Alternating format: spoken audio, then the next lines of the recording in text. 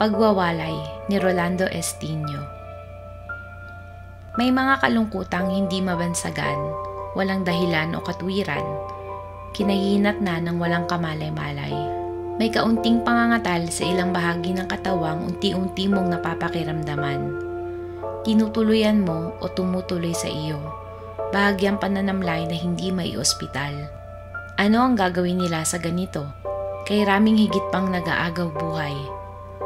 Kagabi halimbawa, pagtalikod niya, paglalaho sa sulok na walang ilaw, para siyang hinigop ng dilim, na kahit dahil lamang sa patay na ilaw, parang dilim ng, naku naman, kamatayan.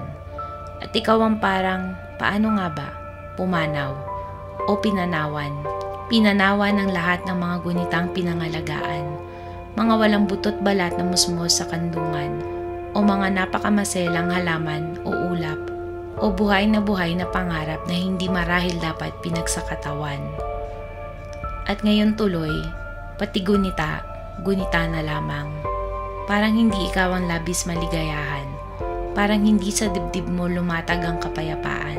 Sa sandaling iyon, nawalay kang lubos sa sariling kilala mo kaninang kanina lang at hindi mahulaan bakit paaasahan kung kailan.